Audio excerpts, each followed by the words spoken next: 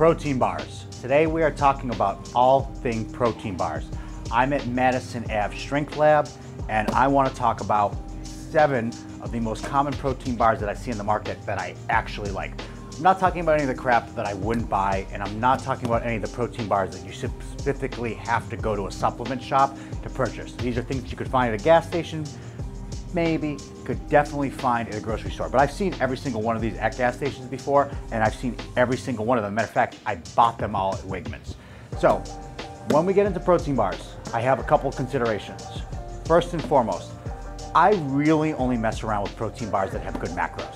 If it's got candy bar macros, like what is that called, like Anabar or Anabar uh, protein bar, I don't mess with that stuff. I would just have a Reese's peanut butter cup and some whey protein. So all the protein bars in front of me, they have good macros. That's why I'm talking about it. Second of all, even though taste differs tremendously person to person, obviously, every single one of these protein bars are edible. They actually taste good. They're actually enjoyable. I wouldn't bother to talk to you about them if they weren't able to be a major seller in a retail store and that enough people liked them that I would be able to speak to them. Are there certain protein bars here that I like more than others due to taste? Yes. But I personally would eat every single one of these protein bars. And a matter of fact, I bought them the other day saying, okay, I'm gonna spend $150 on protein bars. I'm gonna end up eating them all anyway. There's only one here that I don't really like in terms of macros that much, but it's still, it actually still is close enough that I would mess around with. So, gotta have macros, it's gotta have taste. I will talk to you about price, but that's not a major consideration for me when I go into these. We're definitely gonna talk about protein. Does it pass the test? If I refer to does it pass the test, it means that it has to have at least 10 grams of protein per one every 100 calories.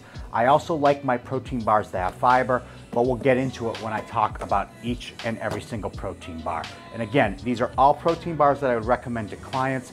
I think they're all excellent options, but taste differs tremendously from person to person. And most of these, I'd say these six, all have excellent macros. This has good macros. Let's get into it. So starting off, I'm starting off with the number one protein bar. This is not my personal favorite, but when I look at across all clients and just people giving me feedback on Instagram, on YouTube, etc., people love Barebells.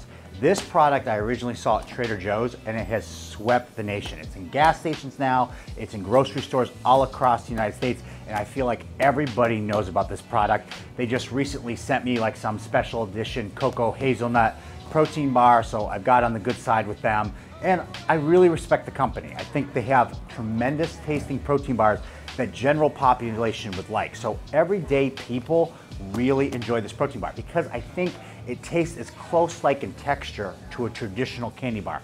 The thing that I love about it, it's got great macros. 200 calories, 20 grams of protein while delivering taste. Now, in front of me, I have the chocolate dough this is my girlfriend's favorite flavor, so she recommended that I buy it because she's the one who's probably gonna eat this bar or this box.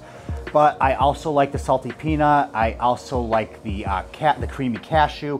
I really haven't had a flavor that I don't enjoy. The cookie dough, uh, pardon me, not the cookie dough, the cookies and cream, all of these protein bars I enjoy, and they have great macros. 200 calories, 20 grams of protein. I would like to see personally in an ideal world, like, look, I understand food science is a real thing. You have to formulate these things. When you add things like fiber, it affects taste. But I would like to see a little bit more than three grams of fiber. That's how much fiber most of these bars have personally. But again, for the taste, I just think this is like the perfect gateway protein bar. I know tons of people that don't like protein bars that really like this protein bar. So it tastes excellent. I would give it like a 10 because everybody seems to enjoy it. And I would give the macros like really strong recommendation. I don't think it's the strongest, but it's pretty damn close. I just like to see a little bit more fiber. Barebells is my number one recommendation when it comes to protein bars. Okay, built bars, not the puffs. You've heard me rip apart the puffs. Look, there are two different kinds of built protein bars. Actually, they have multiple, they have like granola and all these things, but most people, when they think of this company, they think of bars and they think of puffs. Puffs are trash, guys.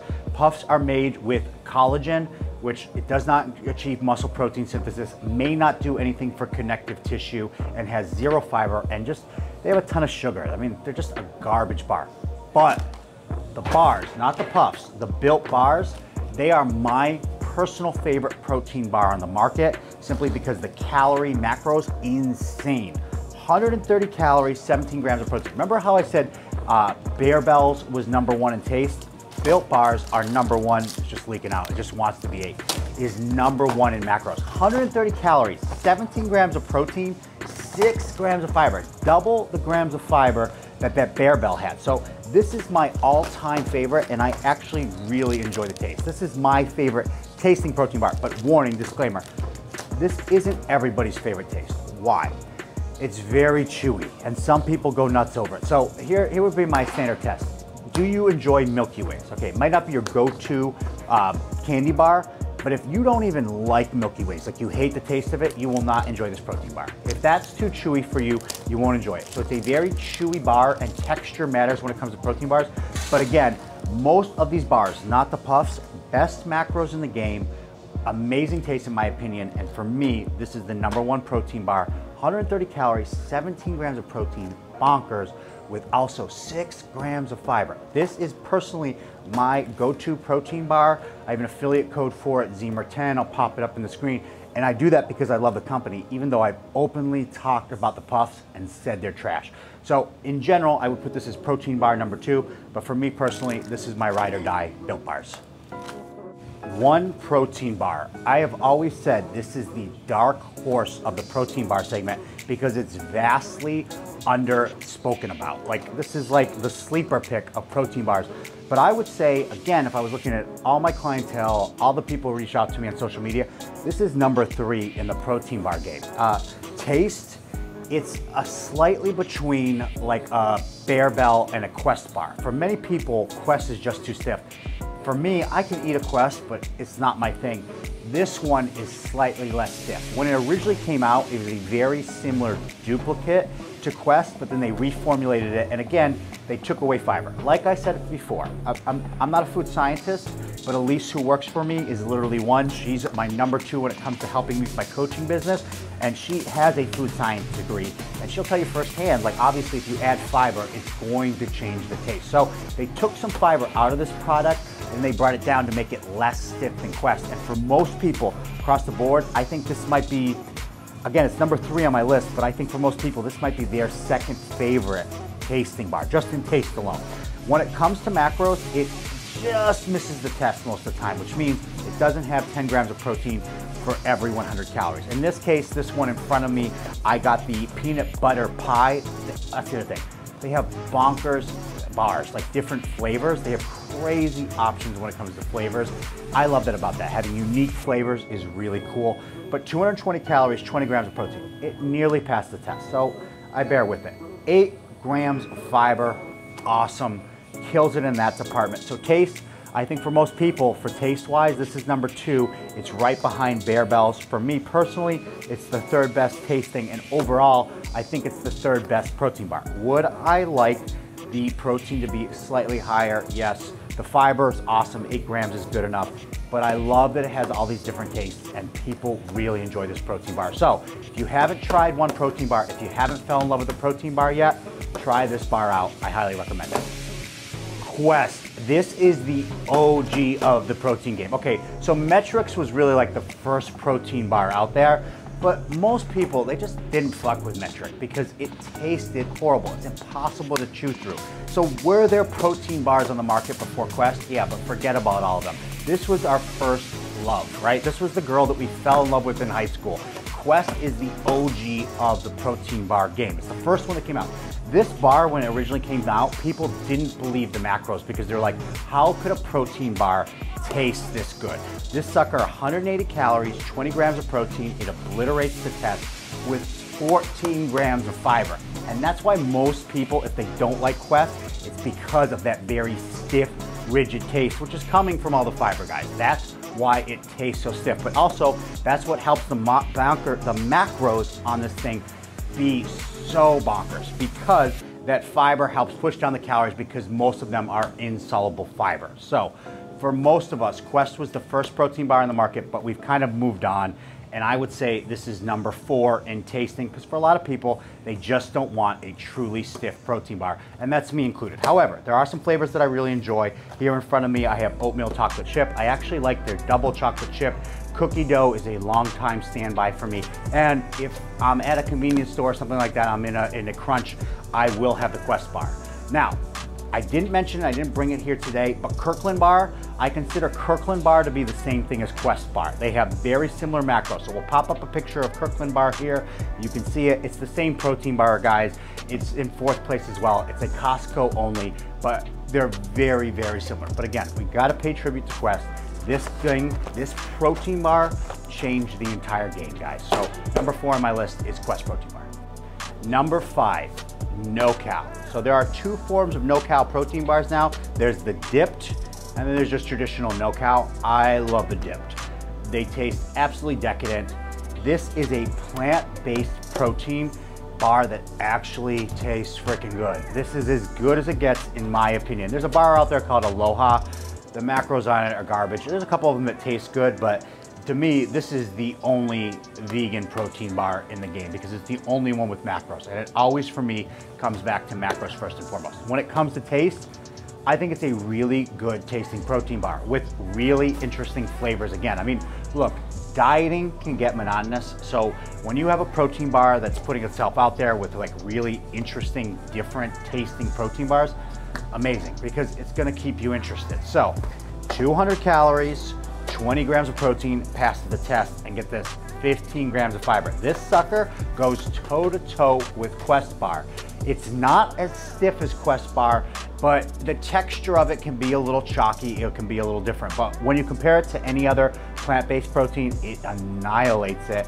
And when you compare it to most other protein bars that have good macros, I put it in number five. It's definitely number five though. When it comes to taste, it's probably even further down. I think pure protein bar probably tastes better. This Irvington bar, um, definitely the Fit Crunch, definitely tastes better. But just when it comes to pure macros and like overall, it's number five on my list. Again, great macros, bonkers fiber, it passed the test, and it's really good tasting. And it's just incredible that we got to have, in this day and age, you can even get a good tasting plant-based protein bar. It just, again, the days of eating only chicken, broccoli, and rice are long gone. Should the majority of your diet be things like vegetables, fruit, chicken, things, salmon, things like that? Yes, but there's room to have stuff that you enjoy, and protein bars, they're a great treat. And the fact that we can get a good tasting plant-based protein bar, spectacular.